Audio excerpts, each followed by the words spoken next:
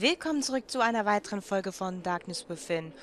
Und ja, wir haben jetzt den Organizer, ähm, wo wir Daten eingeben können, irgendwelche Datumsdinger und alles. Und ähm, wir haben das letzte Mal schon ausprobiert, die von Clark, das Geburtsdatum und so weiter und so fort. Hat alles nicht funktioniert. Wir wissen aber auch, dass wir nochmal ins Haus zurück müssen. Zum einen hatte er gesagt, ja, ich werde mich diesmal genauer umsehen. Wo ich mir dachte, yay, das sagt er jetzt natürlich nicht. Aber ich muss gerade überlegen, wo war das denn? Der ich weiß noch, es gab einen Kalender. War das hier drinne? Nee, hier ist das Schlafzimmer. Das Schlafzimmer will ich nicht. Das Schlafzimmer interessiert mich nicht. Ähm, es gab einen Kalender, wo verschiedene Dinge angestrichen waren. Genau der Kalender. Der hat doch bestimmt eine Bedeutung. So, muss ich mal kurz aufschreiben. Ähm, da hätten wir den 7. Januar. 7. Januar 2011. Ich muss auch mal drauf achten, dass ich es nicht nur in der deutschen Version hinschreibe, also Tag, Monat, Jahr, sondern auch mal in der englischen mit Monat, Tag und Jahr. Ähm, dann haben wir dort unten den...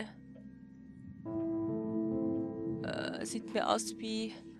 Warte mal. 9, 8, 7, 6, 5, 4, 3. 23. Januar. Dann haben wir im Februar Doktortreffen oder sowas. Der erste, der erste Februar. Dann der vierte. Und der vierzehnte. So, dann ist noch die Sache mit dem Koffer. Es muss ja eine Zahl sein, die er sich leicht bemer äh, bemerken, behalten kann. Und das Einzige, was mir da einfällt, ist zum Beispiel sein Geburtsdatum. Vielleicht geht das ja. Ähm, wann ist er geboren? 19... Nein, ups, in die andere Richtung. 19... 7... 6. Ähm, sonst.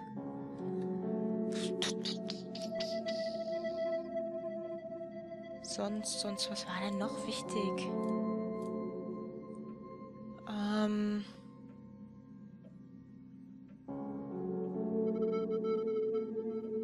Vielleicht das, wo er mit 22 die Firma übernommen hat. Das könnte natürlich auch sein. Ähm, dann müsste es...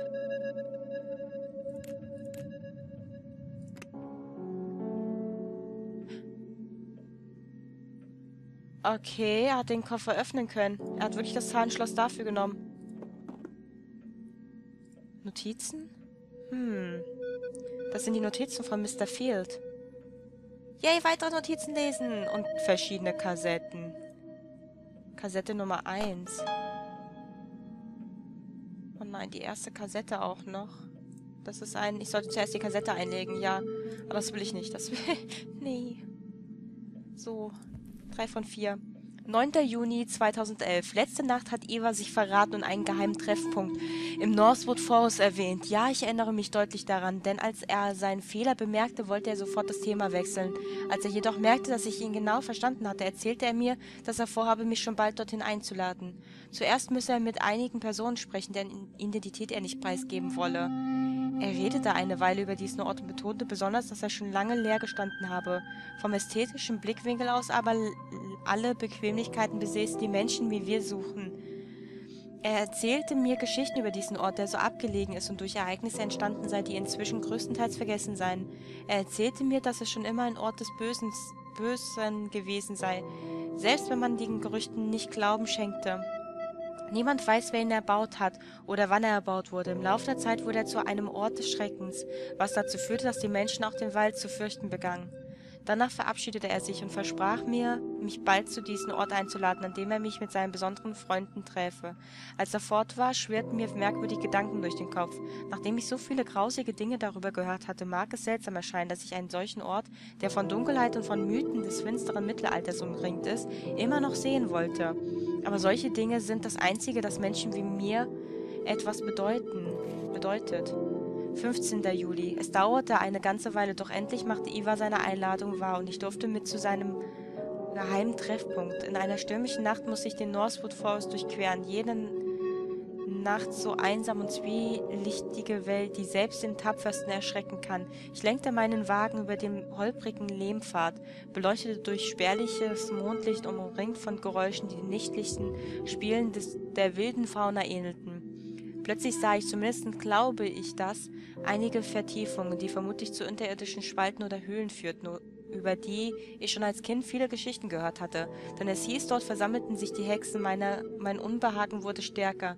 Vielleicht lag meiner Furcht ein gewisser Zwiespall. Ach, Vielleicht lag meiner Furcht ein gewisser Zwischenfall von vor 200 Jahren zugrunde, als ein Trunkenbold namens Annibal Claudio unter einem entsetzlichen Geschrei über die holprigen Waldwege zum Dorf rannte. Er blutete stark und weckte mit seinem Geschrei alle auf, die ihn sofort umringten. Ich habe diese Geschichte in einem Zeitungsartikel gelesen, in dem der Trunkenbold selbst seine Geschichte erzählte. Er erwähnte darin eine Gruppe von Menschen, die Kleidung aus Tierhäuten getragen und in einem kleinen, tiefen Wa Wald verborgenen Höhle am Fuß des Northwood Mountain gehaust hat, habe.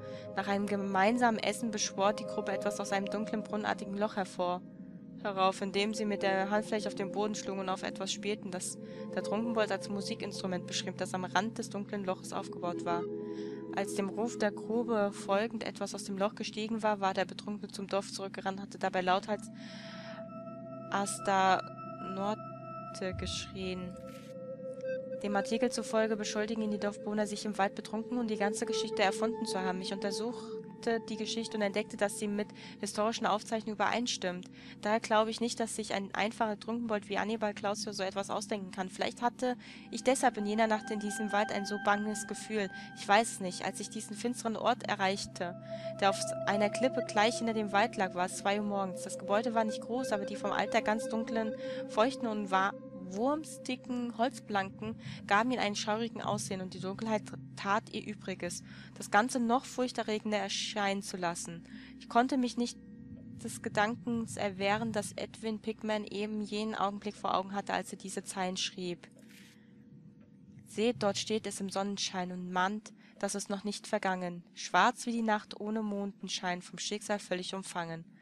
Außer Eva und mir nahmen an dem Treffen noch drei seltsam gestanden Gestalten teil. Mit der Zeit wurde unsere Unterhaltung intensiver und ich hatte das Gefühl, als ginge von ihren Worten und Gesichtern ein durchdringendes Gefühl des Bösen und ein widerlicher Druck aus, von dem mir übel wurde.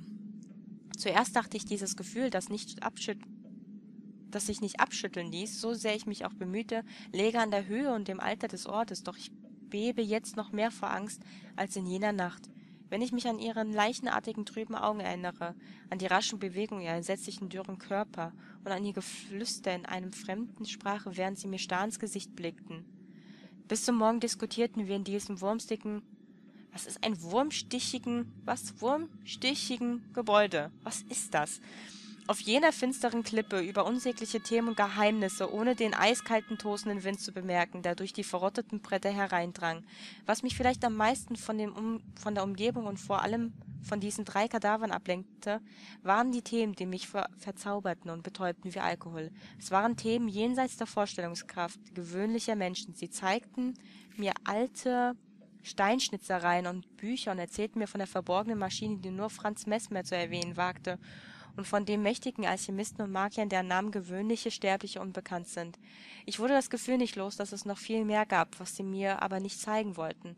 Eine ganze Weile lang glaubte ich, seltsame Geräusche zu hören, die kaum vom Getöse des Meeres und dem Sturm zu unterscheiden waren, doch ich wagte nicht, etwas dazu zu sagen, da die anderen nicht, es nicht zu bemerken schienen. Ich weiß jetzt sicher, dass dieser Ort nichts für vernünftige Menschen ist. Es ist ein Ort, an dem sich die Wesen der Nacht versammeln, um nix anzubeten, zu tanzen, zu heulen, umherzuspringen und in den unterirdischen Gängen Opfer darzubringen. Und ich will nicht zu diesem verkommenen Ort gehen, der jetzt wieder im Wald, der jetzt wieder dem Wald gehört. 18. Juli. Ich glaube, ich habe bei meiner Flucht aus dem Brunnen meinen Organizer verloren. Das macht mir Angst. Ich konnte ihn nicht finden, obwohl ich überall gesucht habe. Hier in meiner Wohnung, in der Stadt und in meinem Büro. Das ist wirklich schlimm für jemanden, der so vergesslich ist wie ich und oft nicht mehr weiß, vor einer Stunde, was vor einer Stunde passiert ist. Aber ich will nicht noch einmal dort hinab, hinabsteigen und nicht um, auch nicht um meinen Organizer zu holen. Ist es nach all diesen wahnsinnig Purinie, dass ich immer noch freiwillig hier bleibe? Irgendwie schon. Aber jetzt kann ich mir mal den Organizer anhören. Ich höre mir die Kassette nicht an. Nö, nö, nö. So, ähm, warte, nochmal Zettel umdrehen. Da habe ich die ganzen Daten draufgeschrieben. So, erstmal der 7. Januar. 7. 1. 11. Okay, und nochmal in der englischen Schreibweise. Okay, dann der 23.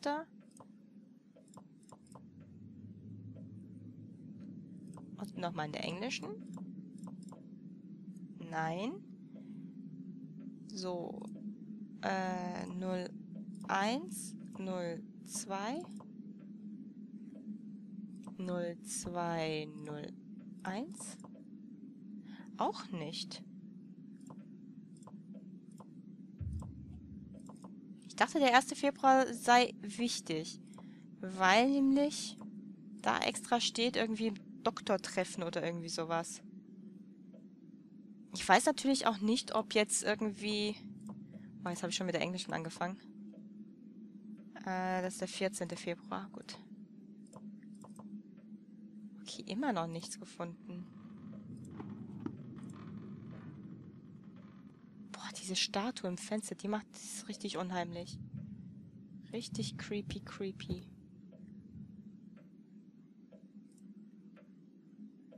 Hier war ja sonst auch nichts mehr. Hier sind nur die Sachen. Ich weiß halt nicht, ob ich hier jetzt irgendwelche Daten, die sind, ausprobieren soll oder nicht. Absolut keine Ahnung. Aber mir ist ein Gedanke gekommen, als ähm, ich das gelesen hatte, wo es hieß, dass Eva in diesen geheimen Ort und so weiter, da fiel mir die Schaufel mit der feuchten Erde ein. Wurde der nicht auch irgendwie, ich weiß nicht mehr, wie es im Polizeibericht stand.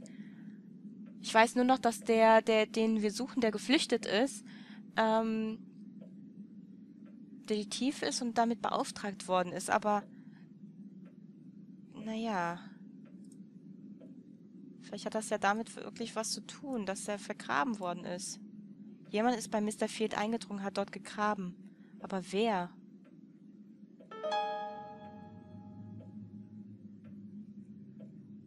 Warum? Warum hat jemand gegraben? Oh, ich will nicht die Kassette mir anhören. Ich will's nicht. Ich will das einfach nicht. Ich will das wirklich nicht. Oh, mir bleibt nichts anderes übrig. Was habe ich denn eigentlich für Notizen? Ich habe drei von vier, zwei von vier und eins von vier. Vier von vier fehlt mir noch, ne? Das weiß ich nicht, wo die sind. Sieht auch ein bisschen aus, als wären das die oder woanders welche, aber ich konnte ja eigentlich nichts anklicken, ne? Zumindestens habe ich nichts dergleichen gesehen. Ich glaube, ich muss mal bei mir Gamma ein bisschen hochstellen, wenn ich das kann. So dunkel. Oh, ich will mir das nicht anhören. Ich will's nicht. Ich will es partout nicht. Und ich weiß jetzt schon, dass ich das sowas von bereuen werde.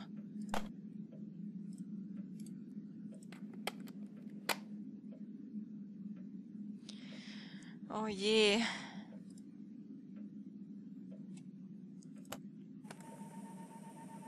Alter und inzwischen unbenutzter Moorland-Friedhof, Branxton, 2.48 Uhr, 5. Oktober 2010.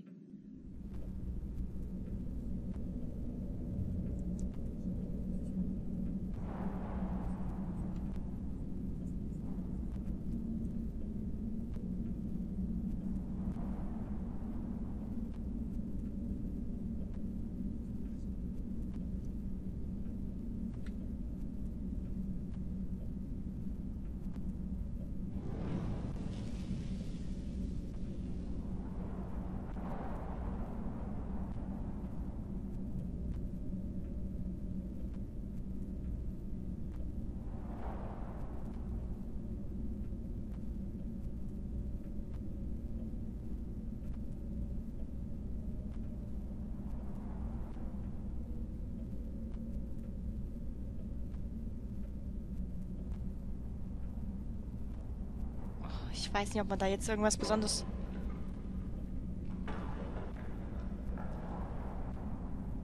anderes hören soll. Kann ich das nicht aufhören?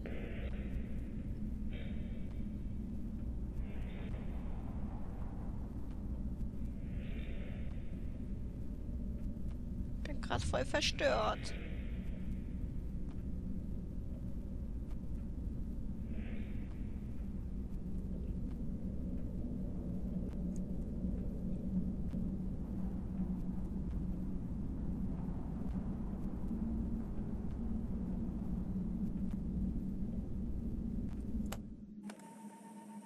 Gibt noch weitere Titel.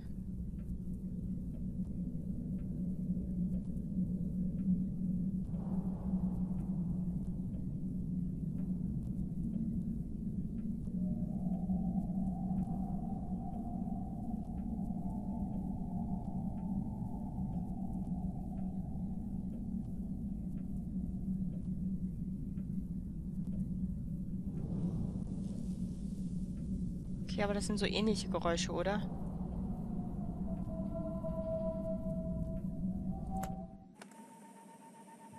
In einer Höhle nahe des Northwood Forest. 16.22 Uhr. 14. November 2010.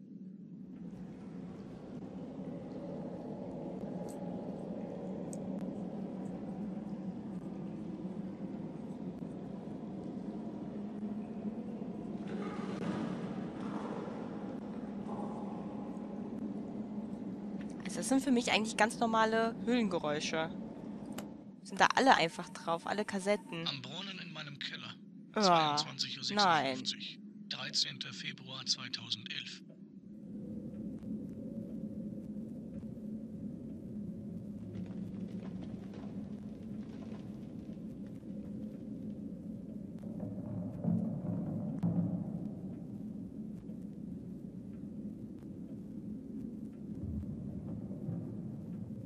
Ernsthaft, wie kann er freiwillig im Haus wohnen, das solche Geräusche macht?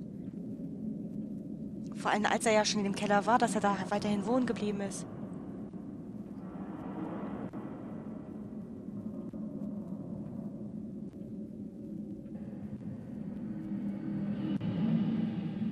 Okay, das reicht mir. In meinem Schlafzimmer, 3.13 Uhr, 12. März 2011.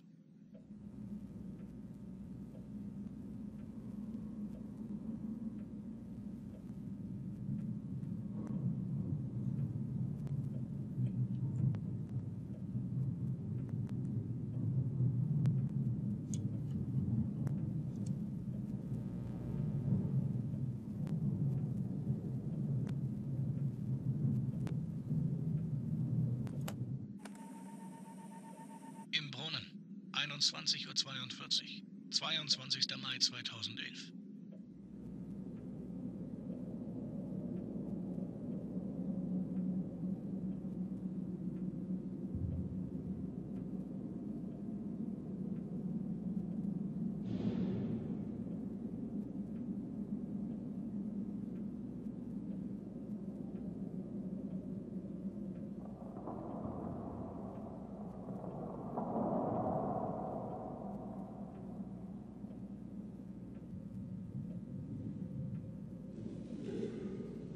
Oh.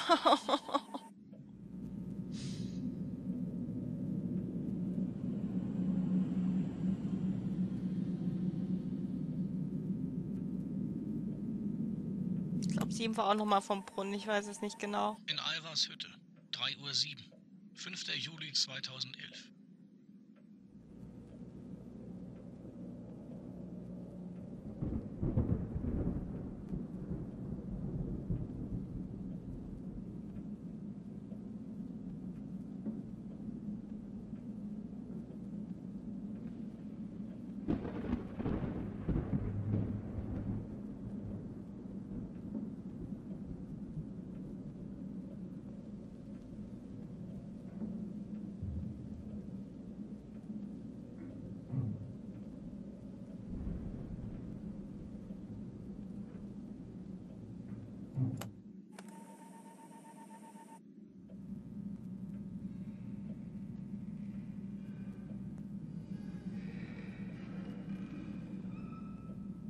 mein Gott, ich will mir das nicht anhören, es tut mir so leid.